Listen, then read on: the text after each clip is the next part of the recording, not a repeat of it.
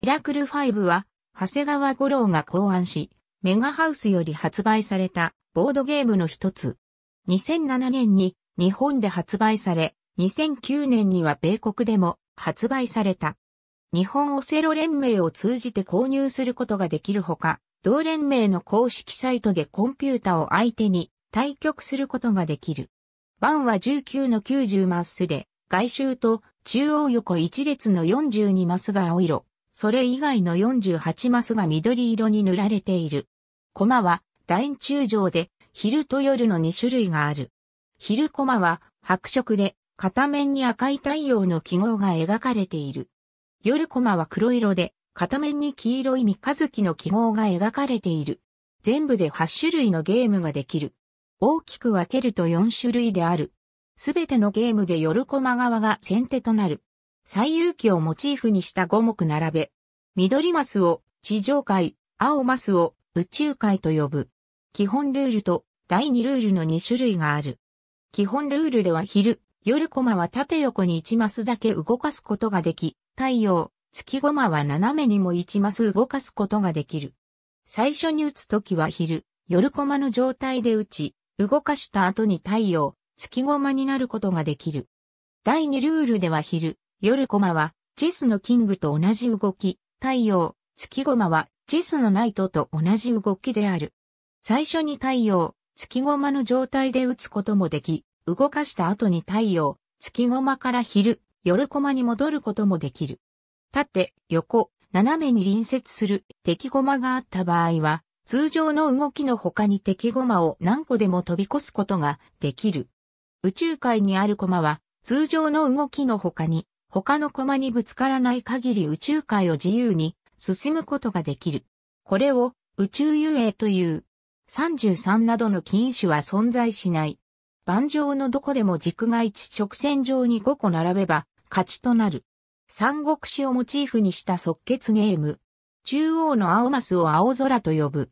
自分側の横一列に昼、夜コマを並べ、互いに2コマずつ裏返して太陽、月コマにする。すべての駒は前方にいくらでも、横にも一マス進むことができるが、交代はできない。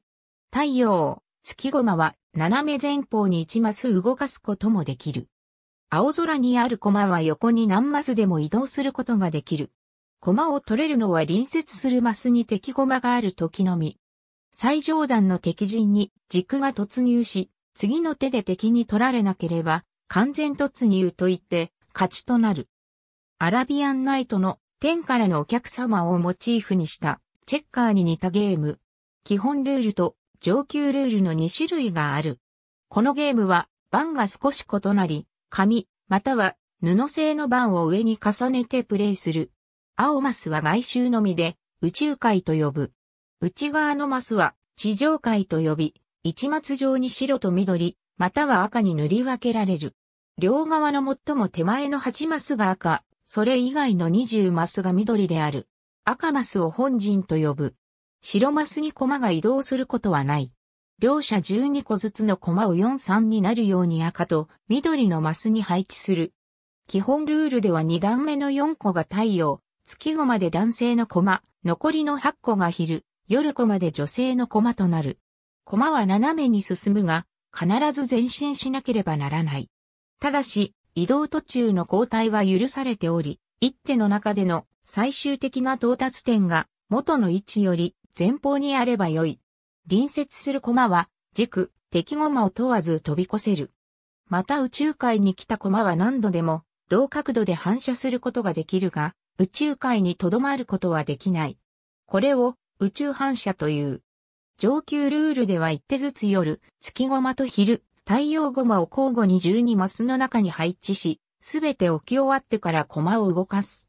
男性のコマと女性のコマは基本ルールと同じである。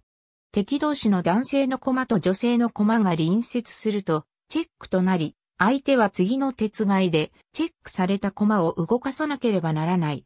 ただし、動かせる場所がない場合は、ノーチェックとなり、違うコマを動かしてよい。相手の本陣をすべて軸が占領すれば勝ちとなる。2-3-100メートル走をモチーフにしたゲーム。27の専用の番を上に重ねてプレイする。夜コマと昼コマをそれぞれ手前の6マスに配置する。前方に1マス進み、敵ゴマを何個でも飛び越すことができる。